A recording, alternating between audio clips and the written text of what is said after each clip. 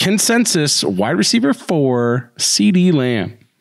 CeeDee Lamb had probably the one of the quietest 100 catch seasons with 107 last year, almost 1,400 receiving yards. Finishes wide receiver seven.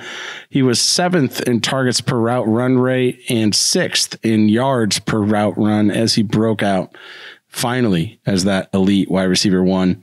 Um, I think he's poised for another wide receiver one campaign, even with McCarthy calling the plays instead of Kellen Moore this season. The Dallas playoff schedule at Buffalo, which could suck. Could uh, be awful. Yeah. At Miami, gotta love the weather. That's going to be a track meet. And home against Detroit, dome, love it. Ooh. So I, that's that's that's real tasty if you can escape through that first uh, first potential snow game. Yeah, right. What are your thoughts on CeeDee Lamb? Uh, fourth in targets last year for CeeDee Lamb in the NFL with 156. Fourth in catches with 107. Jason mentioned the yards. He was sixth. Uh, tied for fourth with nine touchdowns, uh, eighth in points per game. Uh, previously mentioned at the beginning of the pod, the Cowboys threw the 19th most passes. I would expect that to go up uh, with Zeke leaving and Pollard taking over the bell cow role.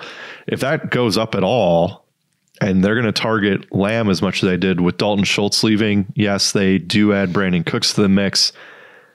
I mean, it's almost a top five target lock, right?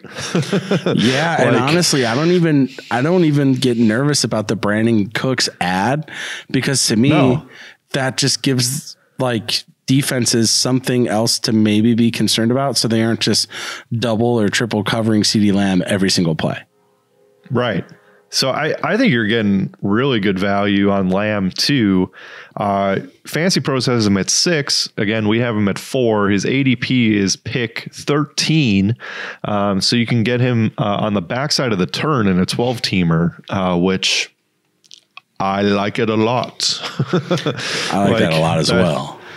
Yeah. So like you can lock in a, a top five target guy on a, you know, with a quarterback that's willing to take risks uh, with, with Dak and and throw those picks, like I'm cool with that, and and kind of let him explode again this year. Uh, you know, six uh, in half PPR scoring last year overall, uh, eighth in points per game. Like there's just consistency there. Um, I I can't see him being being outside the top ten uh, with with all those targets that he should have this year.